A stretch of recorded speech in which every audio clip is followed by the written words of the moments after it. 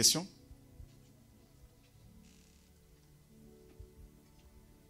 Oui.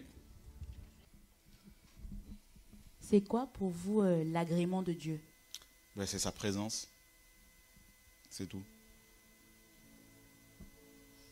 Lorsque Dieu agrée quelqu'un, ben, il, il le précède avec sa présence. Comme, te- comme quand il a envoyé Moïse.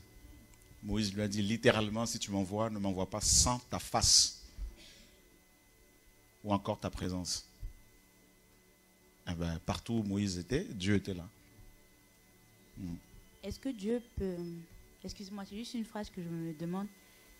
Euh, cette fois, vous me dites si, si elle est bonne ou pas, ou si c'est biblique. Ce n'est pas parce que Dieu t'exauce qu'il t'agrée forcément.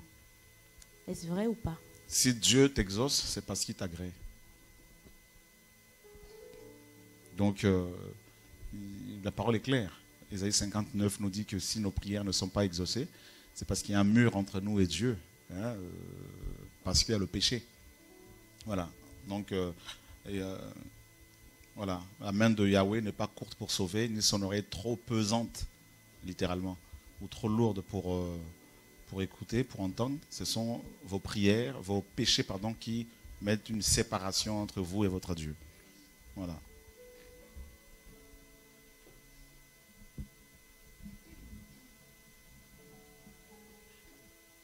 Mhm. Je voudrais savoir, parce que ce passage que vous venez de le réciter, c'est ce que je prends pour me confesser. Parce que je me dis que je suis vraiment chargé, que je n'ai pas assez confessé mes péchés qui sont passés. D'accord. Et je lis ce passage très souvent, et puis le psaume 51. D'accord. Je ne sais pas si c'est une bonne idée. Ah, c'est bon, la parole? Merci.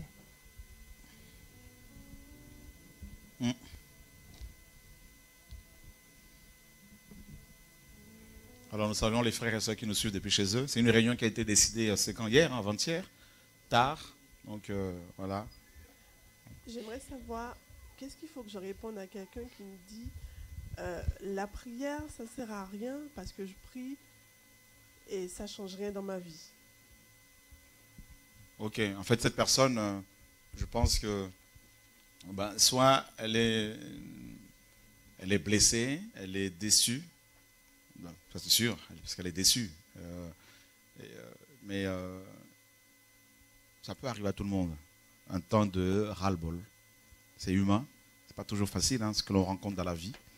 Mais il faudrait l'encourager à, prier parce que. Et pourquoi? Parce que d'abord, parce que c'est un ordre voyez? Et on va prendre un Thessaloniciens chapitre 5, verset. Voilà. Comment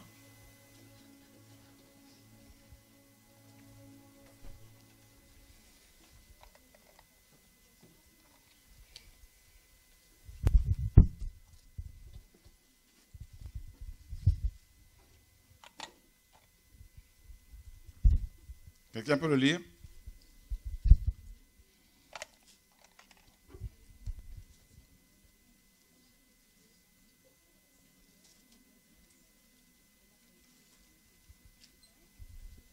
La prière. On y va C'est bon? C'est bon? Quelqu'un l'a trouvé? C'est euh, chapitre 1 Chapitre 5. Chapitre 5, verset 10. Priez sans cesse. Ok. Pourquoi donc doit-on prier? Parce que c'est un ordre. Parce que c'est un commandement. Prier sans cesse. Voilà. Maintenant,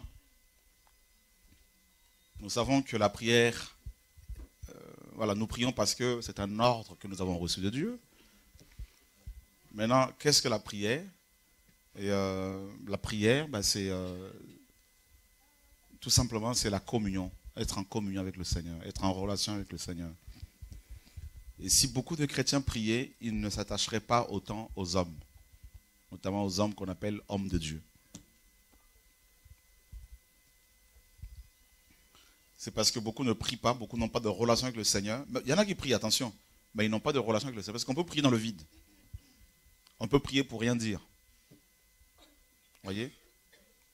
Mais euh, celui ou celle qui est en relation avec le Seigneur, ne va pas courir, ne peut plus courir après les hommes pour exposer constamment ses problèmes.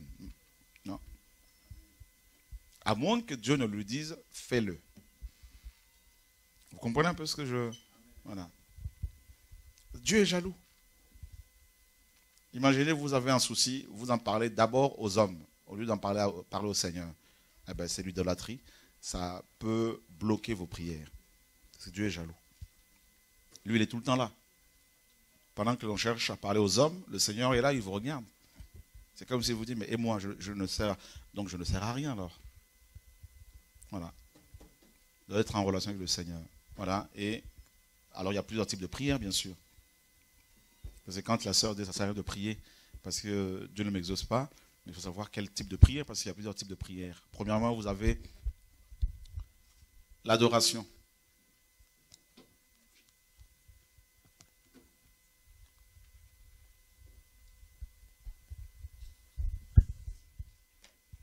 Mais vous verrez que donc il y a l'adoration et euh, il y a la louange.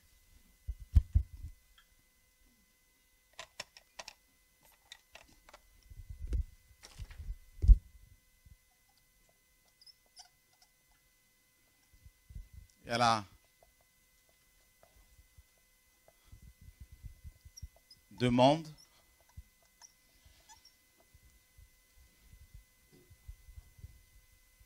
Des requêtes.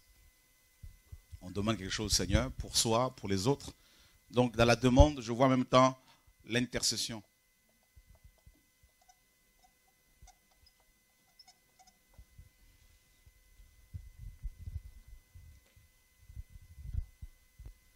Et dans la louange, je vois en même temps les actions de grâce.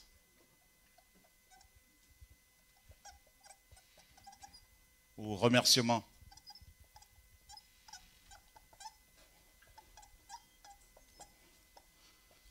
Prière de remerciement, tout ça là.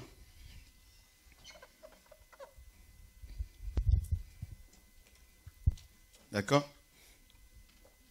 Parce que quand on dit il faut prier, les gens ils se disent bah oui mais prier, d'accord, mais quel type de prière? Parce que elle a dit qu'elle peut plus prier parce qu'elle est fatiguée, parce que elle sait t'arrêter à la demande. Et d'ailleurs, notre relation avec le Seigneur est souvent basée sur les intérêts. C'est-à-dire, on va chercher Dieu parce qu'on a des problèmes. Regardez bien la plupart de ceux qui prient. Ils prient parce qu'ils ils sont coincés. Parce qu'ils ont des problèmes, parce qu'ils sont malades, parce qu'ils veulent se marier, parce parce que parce qu'ils veulent des papiers, parce qu'ils veulent ci, parce qu'ils veulent ça. Du coup, ben, parce qu'on leur a présenté Dieu comme ça. Venez à Dieu, il va résoudre tous vos problèmes. Et c'est ça l'erreur. Ça, ce n'est pas l'évangile que Paul, Pierre, Jacques ont prêché. non. Le Seigneur a dit, celui qui veut me suivre, il doit renoncer à lui-même. Ça sous-entend que renoncer même à tout ce dont on a besoin sur terre. Ah oui. Et c'est pour cela que dès qu'il y a la persécution, ben, beaucoup abandonnent parce qu'ils se disent, mais c'est pas comme ça qu'on m'a présenté la vie chrétienne. On va essayer de régler un peu le micro pour baisser un peu peut-être. C'est pas comme ça qu'on m'a présenté la, vie chrétienne. On m'a parlé d'un Dieu qui était à, à, qui répondait à nos petits besoins et qui euh, s'exécutait euh, à chaque fois qu'on l'invoquait. Et c'est pas comme ça Dieu. Il est souverain, il faut jamais l'oublier. Et donc c'est d'abord l'adoration.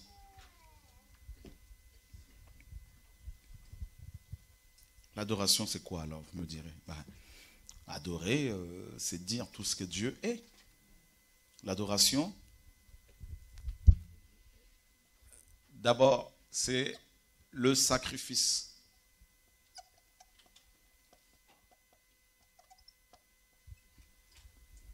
C'est ça l'adoration.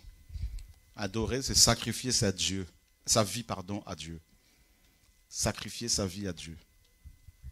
Dans Genèse 22, Dieu dit à Abraham, qui va devenir Abraham plus tard, Dieu lui dit, prends ton fils, ton unique fils, celui que tu aimes là.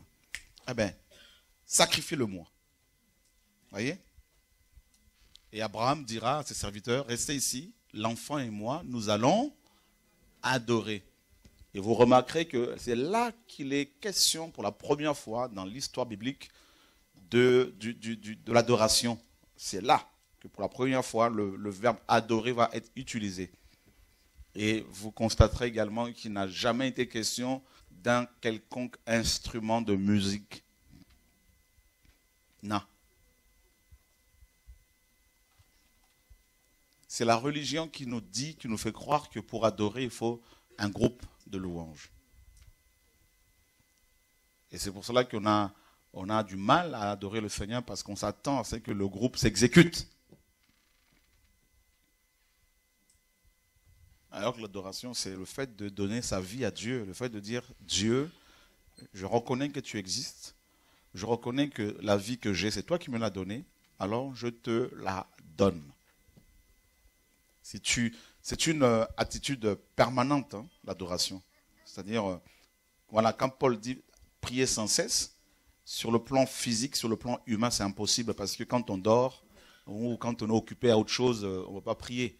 En fait, prier sans cesse, c'est aussi, et, euh, il parle de l'adoration, le fait de consacrer nos vies à Dieu tout le temps, tout le temps, en permanence. Donc il ne doit pas y avoir un temps, où- un moment où on va dire au Seigneur, écoute, exceptionnellement, je me soustrais de la sanctification pour euh, quelques temps, et ensuite je veux revenir dessus, hein, ou dedans. Non, c'est pas ça, c'est tout le temps. C'est le sacrifice. Le sacrifice, personne ne veut te sacrifier. Si on vous met sur l'autel où on faisait des sacrifices, on met le feu en dessous. Ou si on vous prend la tête que vous êtes là, on vous met dans une marmite euh, avec de l'huile chaude, euh, de l'eau chaude, je pense que vous allez. Tout le monde, hein, moi le premier, hein, on va taper la fuite. hein. Voilà, on va crier, ah, tout ça. Parce que ben, c'est ça. Dieu te prend, euh, ben, il te met dans un creuset spirituel, dans une marmite spirituelle, et il met un feu spirituel en dessous. Ce sont les épreuves, ce sont les critiques, ce sont les pensées terribles qui viennent traverser ton esprit. Et bien là, tu es malaxé, tu es, sacrifié par Dieu. Ça fait mal. Les gens te traitent de folle, de fou. euh, ça va, elle est devenue folle avec ses enfants. euh, tout le temps Jésus, Jésus, Jésus. euh, on la reconnaît plus, là, celle-là, elle est dans une secte. Ouais, mais tu es dans une secte alors que tu es chez toi. C'est quelle secte, là? Tu pas un gourou qui t'appelle tous les quatre matins. Alors on dit quand même tu es dans une secte, mais c'est une grâce. Puis maman, on la comprend plus, là, depuis qu'elle prie, la maman, elle a changé. Mais, ma maman dit, mais viens, mon chéri, voir comment ça se passe. Viens voir, tu verras comment maman, quand tu vas, être attrapé par ce virus spirituel, un bon virus, là, tu vas voir. L'amour pour Dieu. Voyez? Le sacrifice. Personne ne veut du sacrifice. Quand Dieu permet les épreuves dans nos vies, regardez, on cherche toujours, tout de suite, une porte de, ce, de une sortie hein, de secours. Tout de suite. On prend le téléphone. Pasteur, s'il te plaît, prie pour moi, prie pour moi, prie pour moi. Mais qu'est-ce qui se passe? Ah, j'en peux plus là. Ah, attends, mais c'est ton. Tu veux être un adorateur, non? Alléluia. Seigneur, je veux voir ta gloire. Qui a déjà prié comme ça là? Bon. En fait, quand tu pries comme ça, littéralement, tu dis Seigneur, je veux que tu m'écrases. Mais là, quand Dieu commence à t'écraser, tu es le premier à pleurer, à dire Seigneur, s'il te plaît, tu ne m'aimes pas. Vous savez pourquoi je lui parle comme ça? Parce que le mot gloire signifie poids. La gloire est lourde. Ah oui. C'est ça la gloire. C'est pour ça que Dieu dit Je le donne ma gloire à Père. Ce pas parce qu'il est jaloux ou pas parce qu'il est méchant. Il est jaloux, c'est vrai, mais ce n'est pas parce qu'il est égoïste, je veux dire.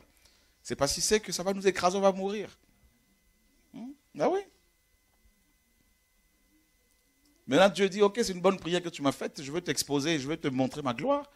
Eh bien, Dieu envoie juste un copain qui vient comme ça, qui t'attaque, qui t'insulte, tout ça, une amie qui va sur Facebook, qui raconte des choses sur toi, où on fait des montages vidéo. Ah, ah, Seigneur, s'il te plaît, je vois le feu, je veux le maudire. Dieu dit, mais attends, mais je réponds à ta prière. Alléluia.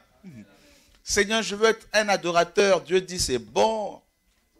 Seigneur, tu as dit que les vrais adorateurs adoreront le Père en esprit, en vérité. Moi, tout ce qui m'intéresse, ce n'est pas le ministère, c'est l'adoration. Je veux être un adorateur. Dieu dit, c'est bon. Donc l'adoration a pour fondement le sacrifice. Donc le sacrifice, c'est quoi? Tu dois mourir. Je dois prendre l'épée de la parole. Je dois te décapiter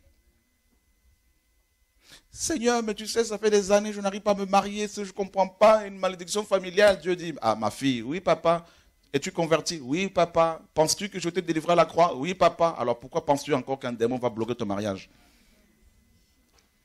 C'est moi qui permets ça parce que je suis en train de te tuer.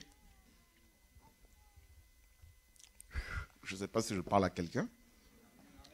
Vous voyez, nous, on cherche des voies et moyens. On dit non, il y a un enseignement là-bas sur le combat spirituel. Je crois que ça, ça, il doit y avoir un démon de ma famille qui m'attaque, qui me bloque.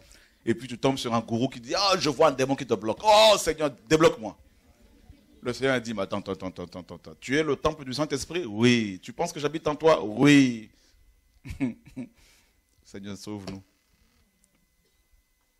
C'est-à-dire, toutes les épreuves auxquelles Dieu nous soumet pour nous, c'est tout de suite le diable qui nous bloque.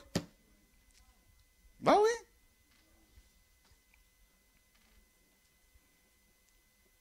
Alors on va appeler le frère Chora, il répond jamais à, son téléphone. Laisse-moi, moi aussi, je suis écrasé. Hmm? Tu penses quoi? Je disais à une soeur, là, vous pensez que nous sommes déjà arrivés au ciel ou quoi là? Hein?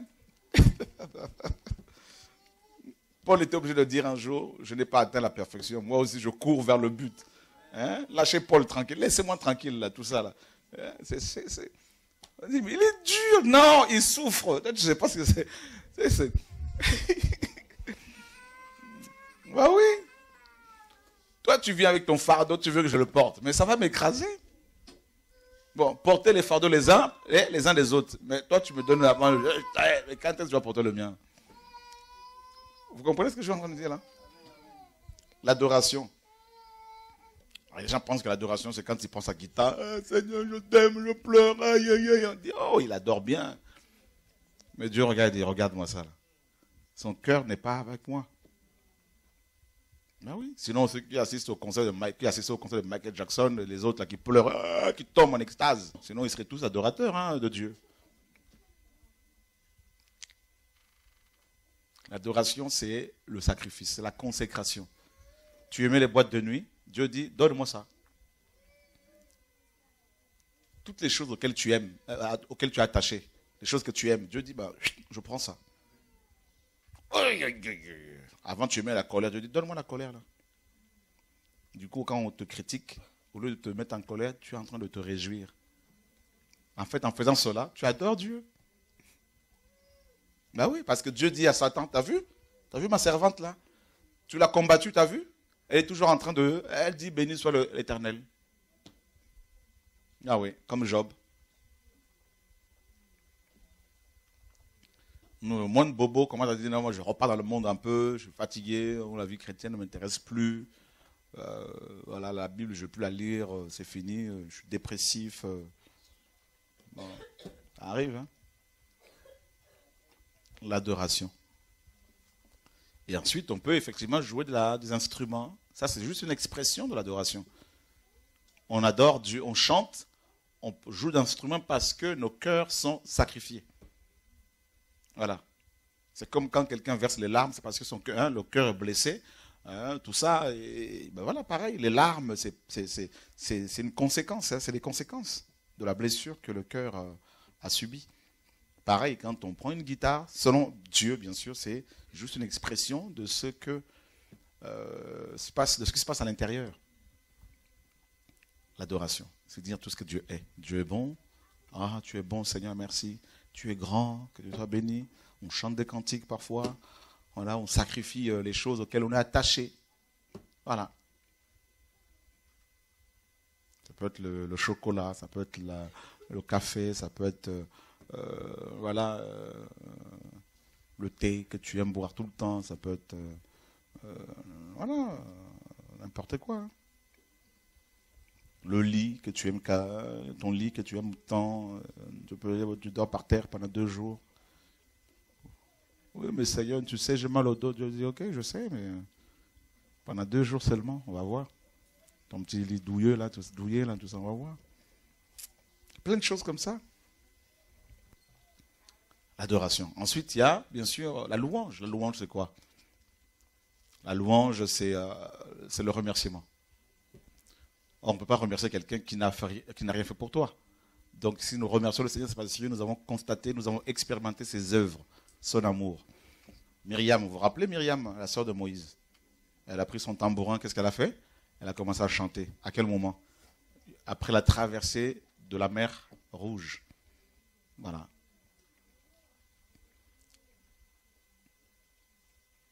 On remercie le Seigneur pour sa création. C'est pour cela que la parole nous dit que tout ce qui respire loue l'éternel. C'est la louange. Voilà, c'est tout ce qui respire. Pourquoi? Parce que bah, si tu es là, c'est parce que Dieu t'a créé. Alors, loue-le. Même les païens sont appelés à louer Dieu. Tout le monde. C'est pour ça les païens, même les athées, hein, quand ils sont, vous allez les voir, ils, sont, ils prennent l'avion, euh, on leur pose la question, Dieu existe? Ah non, non, moi je ne crois pas, euh, Dieu, moi j'en veux pas. ils rentrent dans une zone de turbulence. Oh mon Dieu Hein? Maintenant vous savez qu'il existe. Voilà. Tout le monde va proclamer que Dieu existe. Tout le monde. Voilà. Ah, ah merci mon Dieu. Merci Dieu. Voilà. C'est la louange. Alors quand les gens se mettent à louer Dieu, ils deviennent fous pour les autres. Hein. Ils disent, mais qu'est-ce qui lui arrive? Laissez. La personne était condamnée. Dieu l'a guéri. Voilà. C'est pour ça que David, euh, était roi. Hein. il avait, sa tunique royale. Euh, il s'est mis à danser de toutes ses forces. Ah oui. Sa femme le regarde depuis sa fenêtre. Dieu euh, le méprise. Voilà, un roi comme toi, un grand comme toi, tu te mets à danser comme, un enfant, tu te découvres devant les servantes. David dit, non, c'est pas grave. C'est ça la louange. Je vois des chrétiens qui n'osent pas dire, dire aux hommes ce que Dieu a fait pour eux parce qu'ils en ont honte. Je leur dis, mais eux là, ils n'ont pas expérimenté les œuvres de Yahweh. La louange.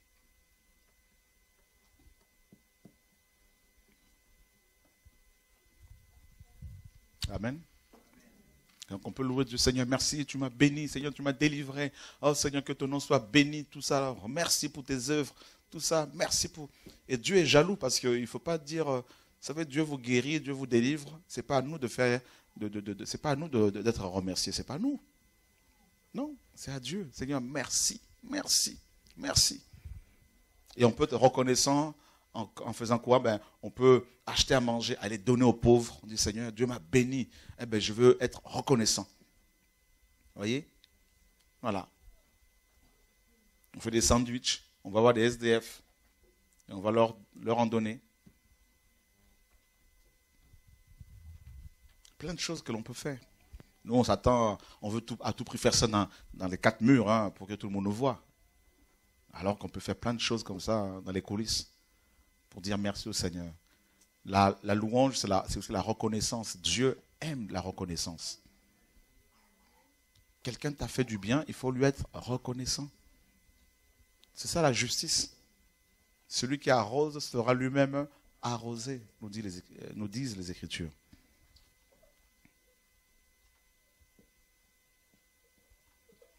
Et vous avez ensuite la demande de l'intercession prier pour les autres, s'oublier soi-même, oublier ses propres problèmes.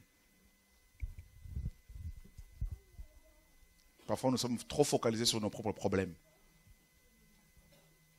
Ah, tel problème. Ah, ma famille, tel problème. Ah, et, ton voisin, tu as déjà prié pour lui? Les frères et sœurs à côté? C'est lui qui s'oublie, c'est lui qui pense aux autres. Avant de penser à lui-même, Dieu pensera à lui. Amen. Et rappelez-vous bien que nous sommes établis comme prêtres. Nous sommes des prêtres.